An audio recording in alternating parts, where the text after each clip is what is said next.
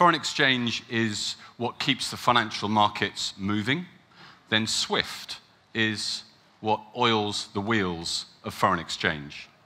It thus seems entirely appropriate that foreign exchange should feature at Sibos. The foreign exchange market is the largest in the world.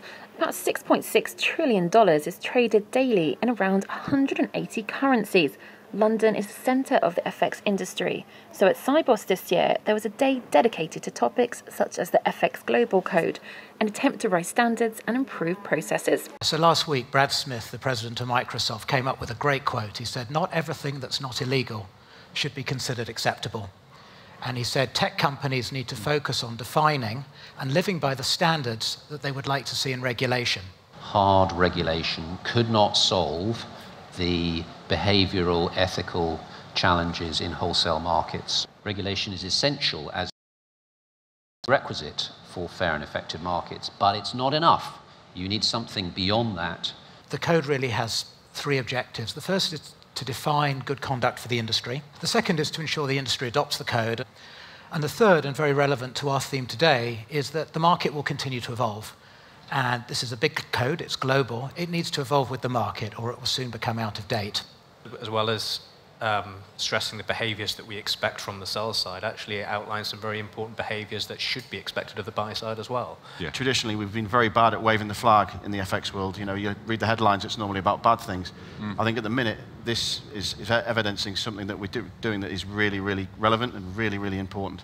And I think mm. we're doing it well. We just don't seem to be waving the flag enough. The FX market depends on and generates huge amounts of data. Uh, how do I know I've got good data? How do I have confidence in the data that I'm, I'm ingesting and using and making, you know, uh, investment decisions um, most, most often with other people's money. My perspective here is that it's a public good that's being provided here.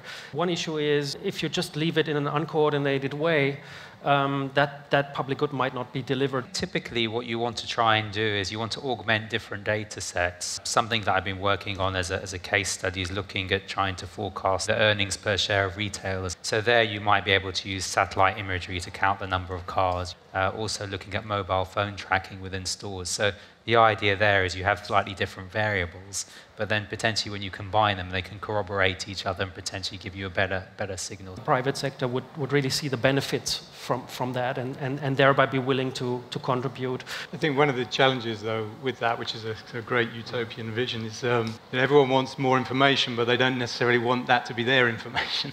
Um, that's, yeah, that, that, that's one of the challenges. And, and, there's good reasons for that. You know, if, if you're a sort of buy-side firm and you have got a long position you're trying to execute, you don't want that information leakage to go out to the wider market because that's going to that's going to cost you. In the end of the day, we need the data so that we can make better, more efficient decisions. There were debates on the impact of new technology on trading, liquidity, and corporate FX workflows. AI here is, is here as a help I don't think it necessarily takes over. I think it, it, it, helps us. And so where we, where we see AI being particularly useful is, is maybe when you put it in a trader's hands and it maybe helps them get a slightly better execution, right. or you put it in a salesperson's hands and maybe they can uh, learn which is the best client to call. So maybe rather than making five phone calls, they can actually only make three phone calls. And that's the AI in the background that's kind of helping them narrow down that, that list of things to do. Execution brings in some way no value. So why having people dedicating time on execution when you can have a machine, the ERP, speaking to another machine?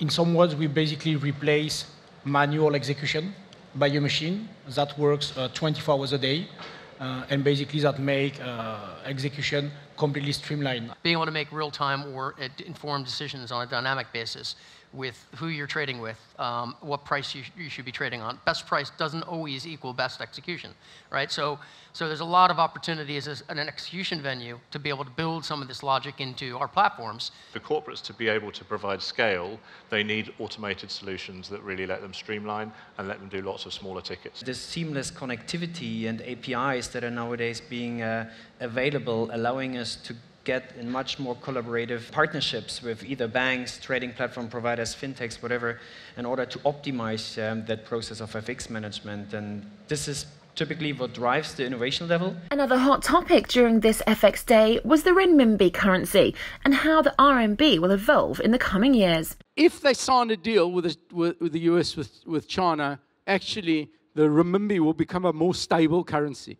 Because if I asked you, is the renminbi cyclical, structural, or political, once they've signed a deal, it will become more political. And I think volatility in the renminbi will actually go down.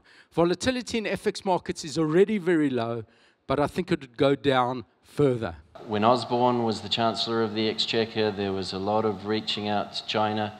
I think it's fair to say that in, in London, the word renminbi is an opportunity. The word renminbi in New York is a threat. The faster the capital markets opens in China, the faster and the internationalization uh, of the RMB is going to achieve. We all knew that it would take time for those markets to open up, and um, that's still very, very nascent. So there's a huge opportunity for, for renminbi growth. We all, we all know it's going to be the next euro dollar. Um, it's just a question of what the path looks like exactly and, and how long it takes to tread. Specifically around timelines, I remember the, the mayor of Shanghai saying that Shanghai was going to be a global foreign exchange city by 2020. Uh, and that was a couple of, two years ago. I remember thinking, that's a pretty short timeline to, to try and pull that thing off. But as we I think, learnt with the, with the Olympics in China, something can happen almost overnight, actually, in terms of them deciding to, that they're going to do something. Uh, and yet, in that most recent survey, they moved from, I think it's 13th to 8th. 8th. Yeah, lucky number, big leap forward. Um, perhaps he's right. Perhaps by 2020, Shanghai itself is a major FX center we see huge um, potential opportunities on the horizon to further develop the currency and further develop the CNH market. With over 30 top industry speakers, this FX Day was an insightful and well appreciated event, one to be repeated.